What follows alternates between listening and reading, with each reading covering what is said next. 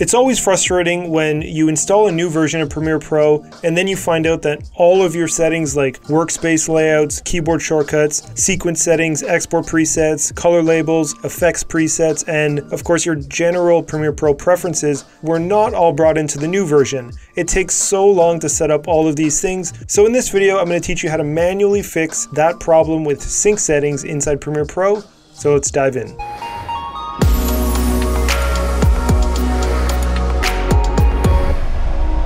So at some point Premiere implemented the sync settings, which is this little button down here. But I've found for the last several versions of Premiere Pro, I have yet to have it carry over my old settings into a new version. So I've always had to figure out a way to do it manually. And luckily I did find out a way to do it in just a few minutes. So open up a folder on your computer and whether on Mac or PC, go to the user area for your profile on the computer. In this case, it's in my local C drive users will, and then go to Documents, Adobe, Premiere Pro, and then you might see a whole bunch of different versions. So let's say you've been working in 14, you just installed version 15, and you want to copy all of your custom settings from 14 into 15. To do that manually without relying on the sync settings from Adobe, you can go into the version that you have all the settings in, and then you'll see an area called Profile Will. Now, if you have managed to get the settings to upload to the cloud using sync settings, it'll be stored in here. So you could copy that over. But in this case, we're going to be using the non-Creative Cloud version. So if we go inside here, you'll see that it has layouts. These are your workspaces.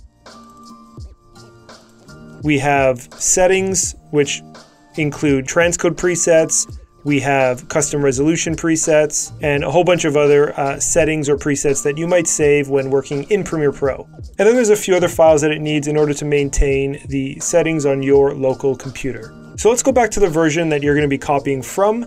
We're going to copy and then we'll go back to where all the versions are. And in the new version, you may already have a new folder. So this is the folder that we're going to completely overwrite.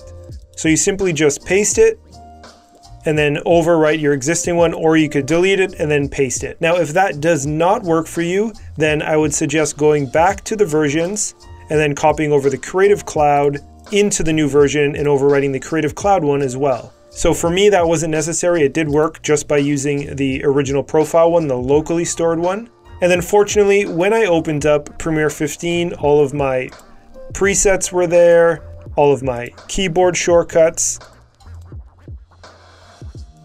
all of my color labels, my general preferences, my custom sequence presets, my exporting presets, and my workspace layout. I did contact Adobe and let them know that this was an issue and has been going on for a few versions. They did reply and say they are working on a fix, so hopefully this isn't necessary to do in future releases, but it's good to know that you do have an option to do it manually if you run into any issues. I hope you found that helpful and I hope it did save you some time. Give it a thumbs up as it does make a difference, and leave a comment down below to let us know if it did help you. Subscribe to the channel and hit the bell to be notified when we release new videos. We have over 100 other filmmaking tutorials on the channel that you can learn from, so check those out if you're interested. Thanks for watching, and we'll see you next time.